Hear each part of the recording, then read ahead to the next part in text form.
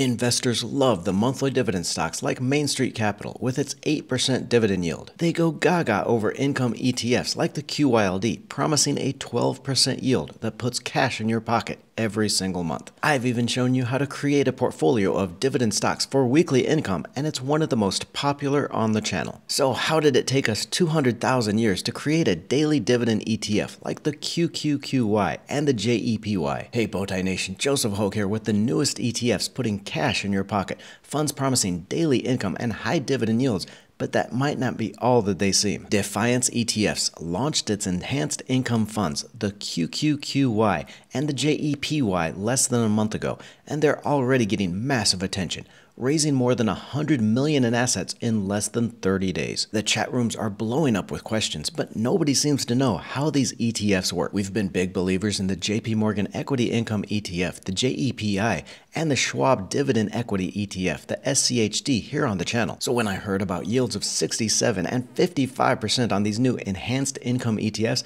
I had to check it out. What I found makes me think that these new ETFs should only be used by a very select group of investors and definitely not for everyone. I'll start by explaining the new Enhanced Options Income ETFs, the QQQY and the JEPY, how they work, and how they use zero day options to create double digit dividends. I'll show you the pros and cons of the strategy, who should invest, and if you might want to avoid this 65% dividend yield. We'll start with the Defiance NASDAQ 100 Enhanced Options Income ETF, the QQQY, a fund using daily put options with zero days to expiration to produce income for investors and to clear something up first here, this isn't going to pay you daily dividends. Despite what the website says, it is a monthly dividend paying fund that generates cash on a daily basis. Now, there is a lot to unpack in that, so I want to take it step by step to see how this works. First, the NASDAQ 100 is an index of the 100 largest stocks trading on the NASDAQ, mostly big tech companies, but you also see other companies like Costco and Pepsi here. The reason why so many of these income ETFs, like the QQQY and the QYLD, use this index in its strategy is because it trades more than a billion shares daily in this index.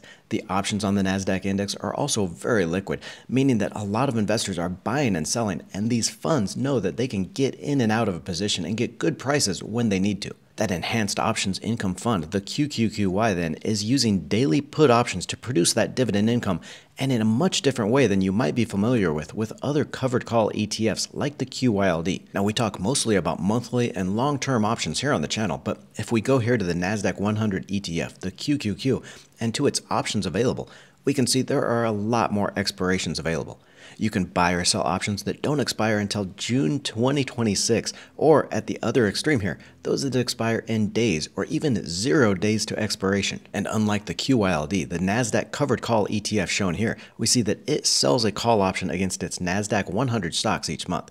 It sells those call options to generate that cash income it distributes as the dividend. On the other hand, the QQQY, it's going to sell put options on a daily basis to do basically the same thing.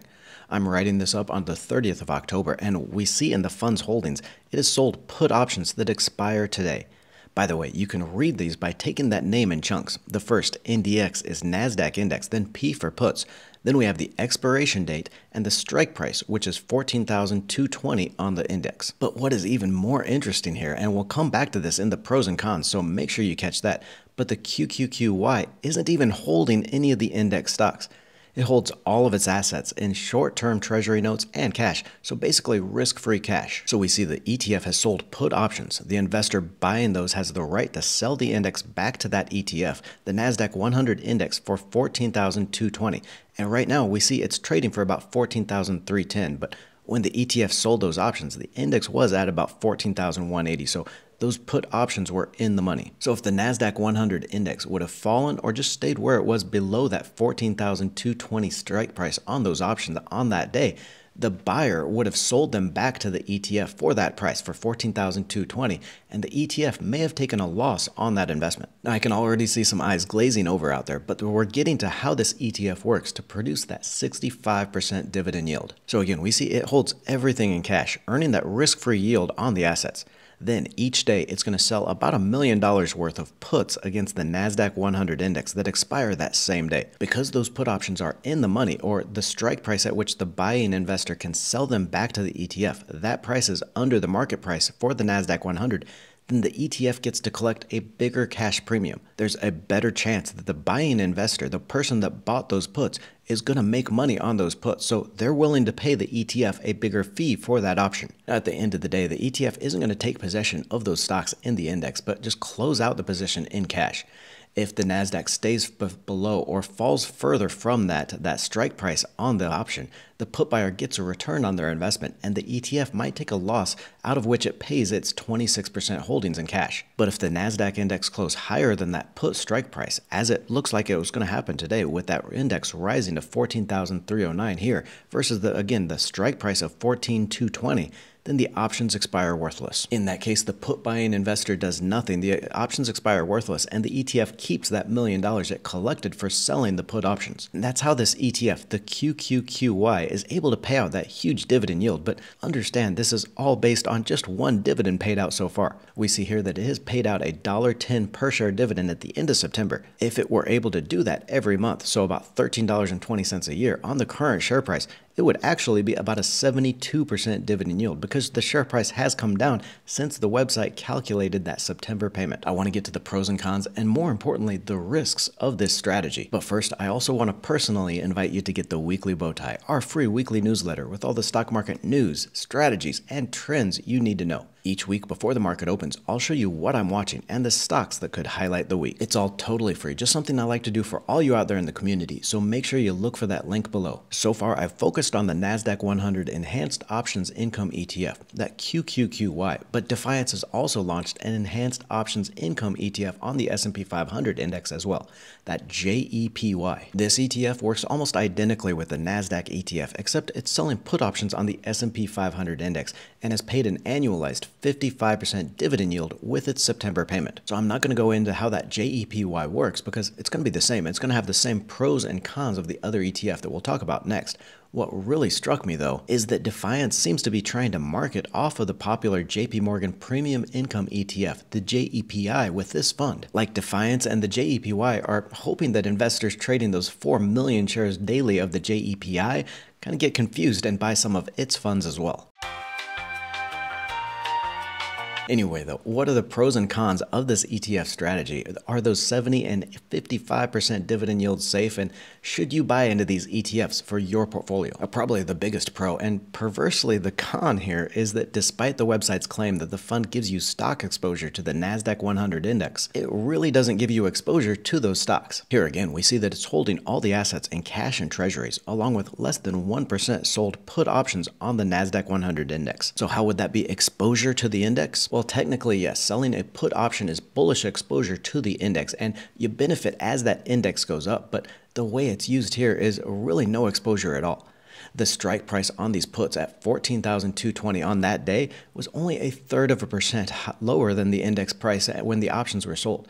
Okay, so that means that, and I know we're getting deep into how option pricing works here, but in selling those puts, you only profited or had that index exposure up to a third of a percent higher whether the index went up a third of a percent or jumped 10% for that day, it really didn't matter to you. You were going to profit the exact same, whether it's a third of a percent or 10%. Now, does the ETF and you, the investor, benefit from the index going up rather than down? Sure.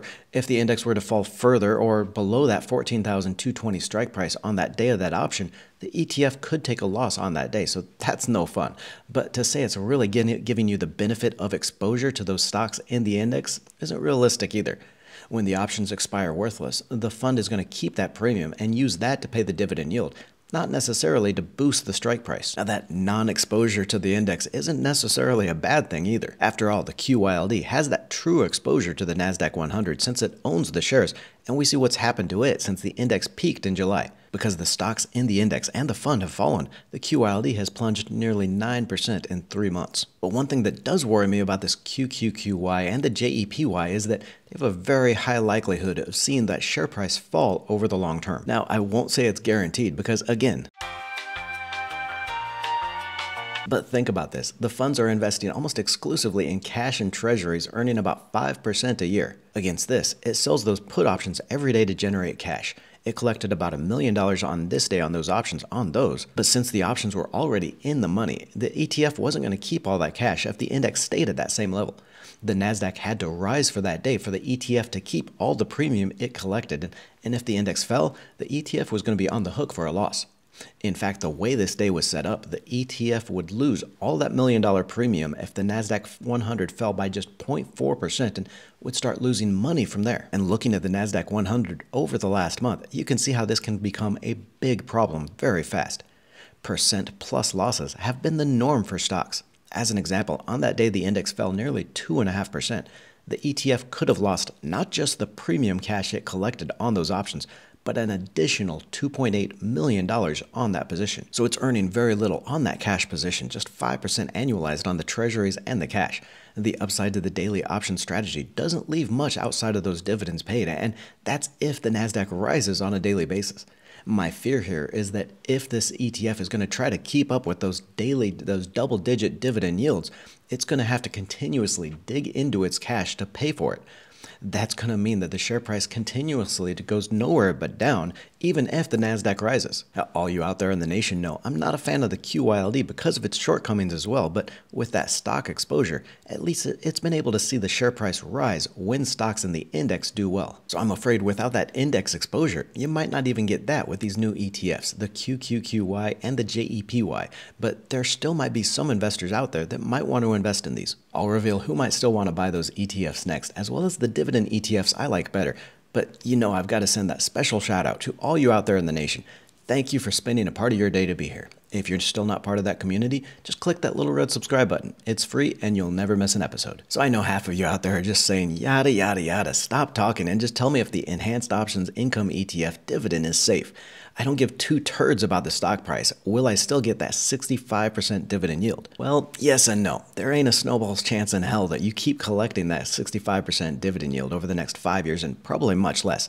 With that lower yield on its cash and the treasuries and the marginal return on this option strategy, it's going to be extremely difficult for the ETF to continue to pay out that dollar plus dividend every month. The good news is that these types of income funds are extremely popular with investors. Just look at that QYLD even as the share price has fallen 30% over the last five years and the dividend has been cut 25%, the fund still has more than $7 billion in assets. That means this enhanced options income ETF should still be able to use its cash to support that dividend the payout's going to fall, the share price may plunge, but you're still going to be able to collect a fairly good double digit dividend yield. And that brings us to who might still invest in these ETFs and who might want to look for other dividend funds. But if you do want those monthly cash flow funds, make sure you check out this video here, a ranking of the top 20 monthly dividend stocks from best to worst. So yes, I do believe that this enhanced options income ETF is going to continue to pay out those fairly high dividend yields, not even close to 65%, but they could still be able to do double digits it's going to come at the expense of massive share price losses. But if you don't care about the share price,